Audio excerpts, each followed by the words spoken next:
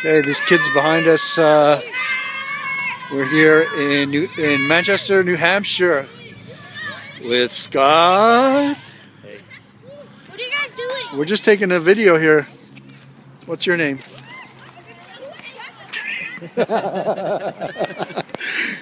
okay, see you, see you, guy. My phone just died. Okay, we're taking a video here. Eh, we're walking in Manchester, New Hampshire, and we just uh, we're on the other side. We're with this whole group of amazing children of the Father, and we were just with these kids over here, and we had the the challenge of most of them are probably ten or younger. What to do to pray for small smaller children, you know, so you don't offend anyone and don't get in trouble. So we just had them pray for one another through the fence. So the first guy, can you, anyone remember what happened? How did, how did that go down? First guy, you said, Do you have pain in your knee?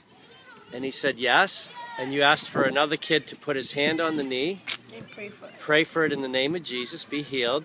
And his knee got completely healed.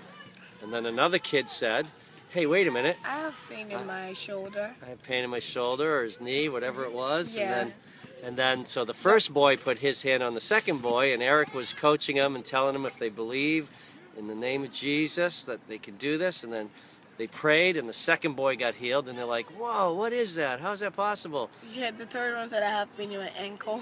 He was on a bike. right? Yeah. then the one that just got healed went to pray for the one with the pain. With the pain? That one got healed. They were like, "What? Are you What? possessing us?" How is that possible?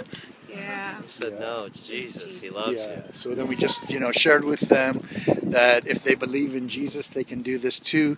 That they can lay hands on their friends and tell the pain to go in Jesus' name. It was amazing teaching, amazing teaching moment through a fence, totally being led by the love of God. It was amazing. We were probably ten feet away from them most of the time. Yeah, we didn't even touch them. We didn't, Didn't come touch near them. It was awesome. Ministry at a distance. Glory. Yeah. Jesus. What's your name? Jaden, Jaden. Where, where does your arm hurt? right here. Okay, how much does it hurt? A lot or a little bit? A lot? Okay. Right. Watch this. Watch this? In the name of Jesus, pain go away. Okay, check it out. Is there any pain there now? Was there pain before? Are you lying to me? It's all Really? gone. Try to move it around all the way. It's all gone. Pretty cool, huh? That's Jesus. Jesus. And he loves you. He thinks He you're does. amazing. How cool is that? What do Now you you think of know that? Jesus is alive. Okay. Is Jesus real? Would you like to make him Lord of your life? Okay, say, Jesus, Jesus, thank you for healing me. thank you for healing me. Be Lord of my life. Be Lord of my life. My life is yours. My life is yours. Thank you for living inside of me. Thank you for living inside of me. Thank you for giving my every sin. Thank you for giving me my every sin. Holy Spirit, Holy Spirit, thank you for filling me. thank you for filling me. Okay, watch. Watch this, okay? Jesus. right now. Overflow. Holy Spirit, fill him up. Fill him up. Fill him up. Fill him up. Fill him up. Touch him. Touch him. What are you feeling?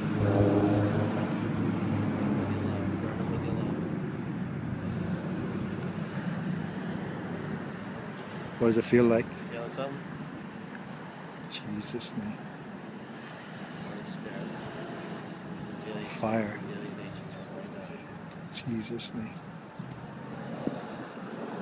Feel your love. Feel your peace right now. In his heart. Or in his heart right now. Fire. Fire of Jesus. What are you feeling now? What does it feel like? What's it feel like? He doesn't know. Am I touching? Lord. I'm not touching you. more Lord. Double it. Double it. Double it. Just double it. Double it. More Lord. Overflowing. He's just showing you how much he loves with you. love. Fill him with your peace. Fill him with your joy. Overflowing. What does that feel like? My heart feels warm. Your heart feels warm. The Holy Spirit. will you. Be with you forever. He power over, over the things of this world. You can lay hands on people and they can be healed and you say, be, be healed in the name of Jesus, they'll be yeah. healed just like we just did. You have that power because the Holy Spirit's in you now. They'll guide you, they'll guide you to a good walk, teach you how to hear God's voice. To walk with Jesus. He'll teach you all kinds of cool stuff if you talk to him every day. It's, it's really cool. It's a big deal. It's a big deal to God. Is that It's a really big deal to God. He loves you so much. You're feeling that, aren't you? Yeah. He loves you so much. Today's a new day for you. It's a brand new day, brand new life for you. And he's watching you, he's guarding you all your life, All your okay? life. So you don't have to be afraid of anyone or anything because he's always with you. He's going to guide your footsteps. You're going to walk. You're going to learn more and more about Christ. You're going to teach all your friends about Jesus and how cool he is, how amazing he is, and how much he loves them. You're going to speak that truth to them. You're going to lead them. It's called the light. You're going to lead them into the light. You're going to take them out of the darkness and lead them into the light. There's going to be hundreds and hundreds and hundreds of young men and boys that you're going to lead into the light because of the love of Jesus, because he loves them. You're a You're going leader. to have an amazing life for God. You're going to run well. It's going to be amazing. Jesus. Jesus. Yeah. Yeah. It's a good day. How you feeling now? Yeah. Come on, buddy. Just the, the little boy who just came up there, we uh, earlier we're at that park way back over there. Um, somewhere over there. Across the street. Okay, we were at that park across the street, and the little boy came up to us. This is uh, two almost two hours later, and he was on the bike. He was at the park while the other little boys were getting healed, and he had come up to us and asked us a question before we had left uh, the park two hours ago, and then all of a sudden we're walking back here, walking towards the cars, and he came up to us. What did he say? Do you remember? He said, um, Can you pray for my hand or my arm? It, it hurts. And so Eric said, Sure. And then um, Garrett, seven year old Garrett, prayed for his arm. And one prayer, all the pain was gone. He got completely healed. And then Eric asked him if he knew Jesus and if he'd like to receive Jesus as his Savior. And he got led into into Jesus and he got touched by the Holy Spirit and, said he felt really, really good afterwards. It was a pretty good day for that young man. Oh, Lives are being changed in Manchester. in Manchester, New Hampshire. Yeah. Ooh, that's JFK. John Fish JFK Memorial Coliseum, just outside the JFK Memorial. Yeah, Coliseum. it was a good day here in Manchester. We saw a lot of healings, a lot of lives changed, mm. a lot of people touched by the love of God, reconnected with Christ. It's an amazing day. It was a really good day. Yay, Jesus. Jesus.